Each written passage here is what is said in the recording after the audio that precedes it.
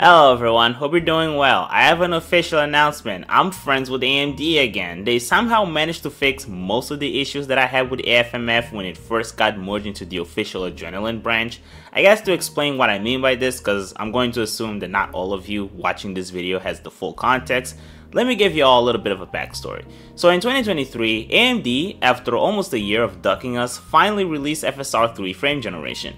Now I personally had pretty mixed opinions on this. On one hand, I think it's a good solution for CPU bottleneck games because Previous versions of DLSS and FSR used to recoup performance by rendering the game at a lower resolution and then upscaling it to the target resolution and while that works fine when you're being GPU bound, once we start getting into CPU bottlenecks, Upscaling can only help to a certain degree, even toning down the graphic settings don't always help, which is what I believe frame generation aims to address. However, for me, because I'm someone who plays action-oriented games where frame timings are really important, frame generation was never super attractive to me. I also think frame gen looks pretty ass when you're working with a base frame rate below 60 and honestly if the only games that are feasible to use frame gen are the ones that have to run at a 60 fps bare minimum frame rate, I would honestly rather just run at those exact frame rates than trying to interpolate them, because at least the input latency and image fidelity will be consistent.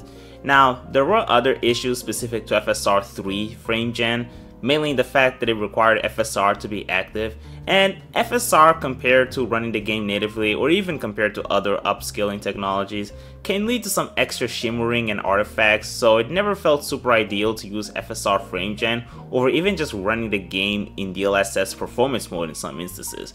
However, when it comes to this problem, AMD actually managed to fix this by both improving the image reconstruction with FSR 3.1 and also decoupling the frame gen with the upscaler. That way you don't need FSR to run frame gen and based on the feedback that I've heard, it seems like people actually like AMD's frame gen more than Nvidia's one, which to me is mind-blowing given how it doesn't require any AI accelerators. However, even discounting the issues that I listed earlier regarding input latency and frame times, there is one other problem with FSR 3 frame gen. Now, Technically speaking, this isn't an issue in the grand scheme of things, but one sort of issue that FSR has had ever since FSR 2 is that previously with AMD's first rendition of their upscaling technology, it was very easy to integrate it into any application. In fact, if you're a Linux gamer, you can very easily enable FSR either through GameScope or Proton GE with a few environmental variables, which would work with most games out there rendering with Vulkan. But ever since FSR 2, this tech now requires the game's motion vectors, which means that it needs to be specifically integrated into the game, which isn't something you can just easily do with just any application. So for example, a lot of emulators, while they do support FidelityFX Super Resolution, it's only the first edition, which is notably inferior to FSR 2. And FSR 3 frame generation has the same issue. So even though it is open source and you can probably compile the DLL if you really wanted to, it's not like you're going to see this getting integrated into emulators similarly to FSR1, which is why I've always had a bigger interest in AMD's alternative frame generation software, namely AFMF. You see, I'm a fan of emulation, and having to deal with a lot of games that have frame caps that are pretty much impossible to unlock it without breaking something, AFMF is theoretically the perfect solution for this because other than that, unless you're willing to wait until someone releases a frame rate patch for whatever game you're trying to emulate, this is probably the only solution you will have for at least doubling your frame rate. Yes, you will still have input delay, maybe even more than normal FSR3 frame generation. Yes, you might see some artifacts, but at the end of the day, let's remind ourselves when we're talking about emulation, if image preservation and graphical integrity is something that matters to you, you're in the wrong field. We all emulate old games with the expectation that we might see some visual inaccuracies. And to its credit, AFMF, unless you're zooming in at like 600% with a playback speed of like 0.1 times, you're probably not even gonna notice any visual artifacts for the most part. Well, I mean, I guess up until now, but uh, uh, more on that later. Now, with that said, AFMF, when it first came out during the beta, it had three main issues. Number 1, only worked with RDNA 3. Number 2, only worked with DX11 and 12 games. Number 3, pretty severe jitters. Now, out of these three issues, when AFMF was finally merged to the main Adrenalin branch, AMD only fixed one of those issues. So issue number one, AMD later added support for RDNA 2 during the beta. I doubt older generations will get support for AFMF, so I'm pretty sure this is the most that we're gonna get from AMD. Maybe modded drivers might do something crazy, but as far as the official drivers, I don't think AMD is gonna give a fuck. Issue number two. Now, funnily enough, Initially, this was actually fixed during one of the later versions of the beta drivers when AMD allowed you to run AFMF in unsupported APIs. Of course, there was no guarantee that it would work as well as DX11 and 12, but look, we all tested Vulkan, it worked about as well as DirectX. But despite this, AMD spread their ass cheeks and shat all over our faces by restricting this tech to DX11 and 12 once it was merged to Adrenalin, even though we all proved that it works just fine with Vulkan, but AMD, they didn't care, which was a very huge shame because if you're in the emulation scene, then you know that the vast majority of emulators out there use either OpenGL or Vulkan.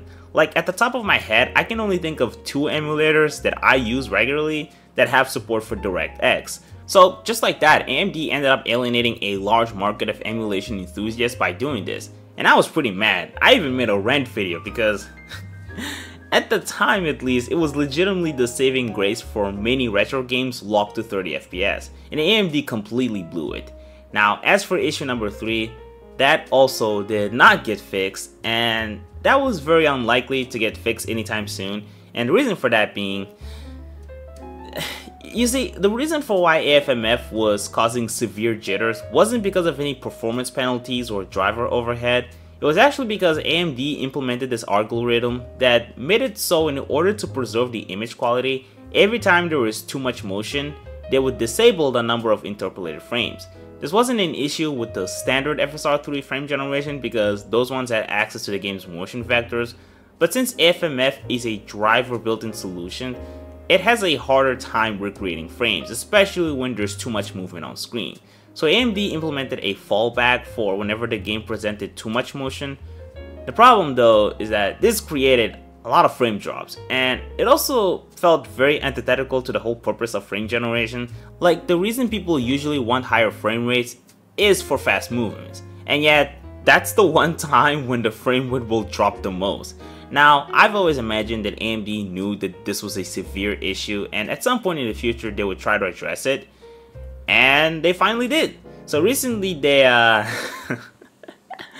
they released a beta driver for AFMF2, their new version of fluid motion frames that has some pretty good improvements actually. So for one, they say that they improved the latency. Now I'm just gonna tell you up front, I still feel input latency. Admittedly, I'm testing games that have a 30 FPS as the base frame rate, so maybe I'm just shooting myself in the foot from the get-go, but I just wanted to be fully transparent in this regard it is still far from matching the 16.6 millisecond latency that I would usually get from a true 60 FPS experience, even with anti-lag enable, but just keep that in mind. They have a performance mode which they claim reduces the overhead of AFMF. I didn't enable this because they claimed that this was meant for mobile graphics, and I have a feeling that my RX 6700 XT will be fine in this regard. The best future though is search mode. You can pick between standard and high. So standard essentially behaves the same way AFMF1 did, in which whenever there is too much movement it would disable the interpolation. But with high, this setting is pretty much disabled, at least partially disabled. And AFMF will become active at nearly all times regardless of how much it will degrade the image quality. Now, by default, search mode is set to auto, and from what I understand, it will choose either standard or high depending on the resolution. So if you're running the game at 1440p or higher, it'll be set to high because from what I understand, your GPU will have enough visual information to better interpolate frames compared to a lower resolution like 1080p. Me personally, I don't give a fuck and I'm just gonna set it to high in every game. Now, AMD describes this as AI optimized enhancements and I don't know if they're just using AI as a buzzword or this setting could legitimately be better optimized if your GPU has AI accelerators which makes me wonder if having RDNA 3 could either improve the smoothness or the image preservation. Now, I don't have a 7000 series card, so fuck do I know, but it does make me curious. Finally, and this, my friends, is our blessing from the heavens. AFMF now officially supports Vulkan and OpenGL. Wow! Fucking wow! Emulation gang, we are eating tonight. Now, regarding this announcement, you may notice that they specifically name drop OpenGL and Vulkan. They didn't say that this now supports other APIs, so I'm sure you might be thinking, Twisted, what about games that run under DirectX 10, 9, or older? They still don't work with AFMF. Whatever shall I do? Relax. I have a solution for you. So, I will link in the description of my video the GitHub page for DXVK.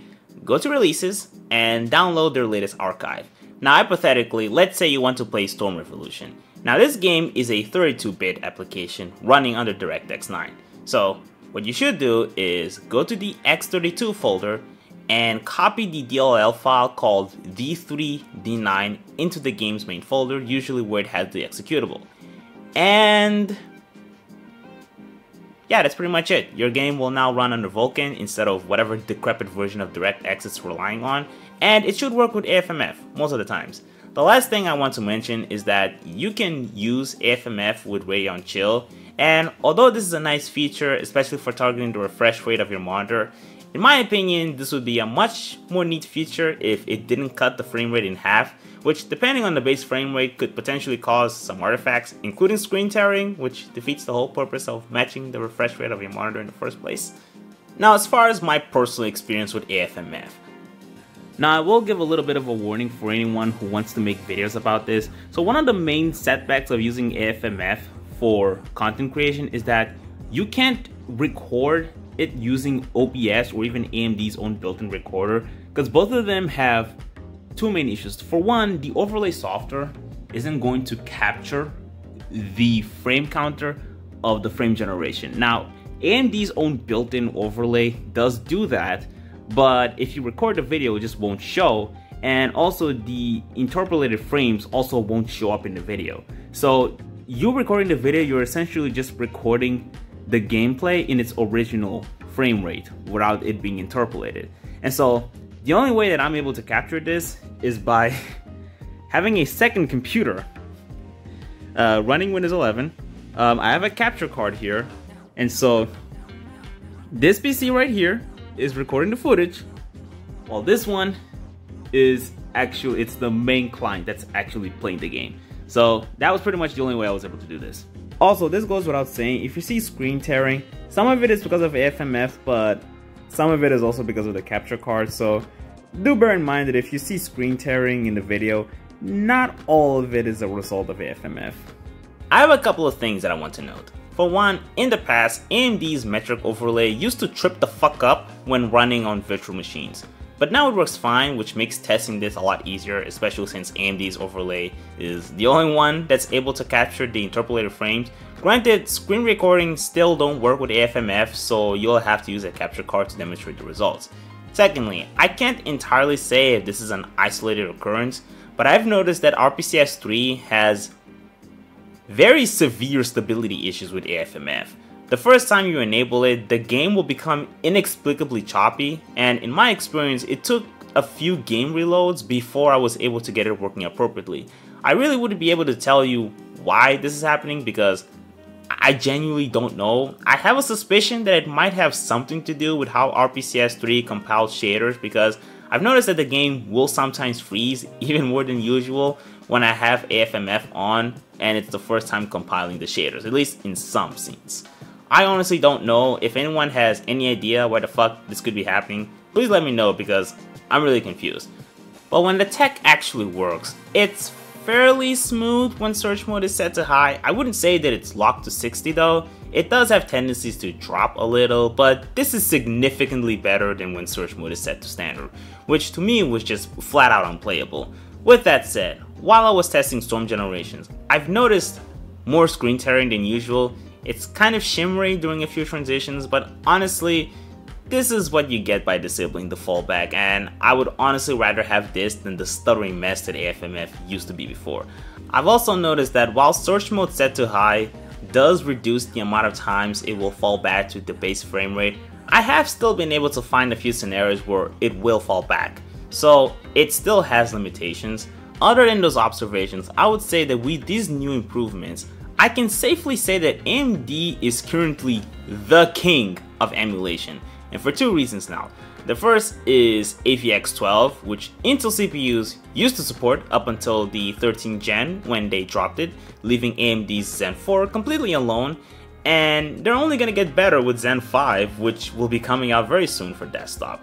And let me tell you right now, AVX-512 really helps with emulation. And now with the Radeon division, they are the only GPU vendor that has a driver built-in solution for interpolated frames with any application running DirectX 11, 12, OpenGL, and Vulkan, giving us the opportunity to double the frame rate of many games that are in need of that. And since a lot of the software is open source, it's only going to facilitate development and optimization for their APIs, and I can only see good things coming from now. Now of course, if you don't have an AMD card or you have an older generation, you can always use lossless scaling frame generation provided that you're okay with paying 6 bucks. Although, based on some feedback that I've seen, at least the latency seems to be a little worse than AFMF. As for image quality, I've heard mixed opinions. I think it's leaning more towards lossless scaling, but honestly, even if there were some games where AFMF was better, at the end of the day, it's still better than not having the feature at all if you don't have an AMD card. The only question I have right now is... Should I get RDNA 3? I'm inclined to say no because I'm waiting for RDNA 5. I might consider RDNA 4 if they decide to change their mind and release a top die, but I don't think they will, so I'll just have to wait for the next generation. But with recent acquisitions and partnerships, I have a feeling that AMD really wants to leverage AI for their future software endeavors, so RDNA 2, as great of a generation it may have been, I think it's only a matter of time before AMD starts to not really prioritize software-based solutions as alternative for AI-powered features. I think for now, I'll stick with RDNA 2, but I will continue to keep an eye on the direction that AMD is taking because uh, things are getting pretty spicy. But yeah, I think that's all I have to share. Take care.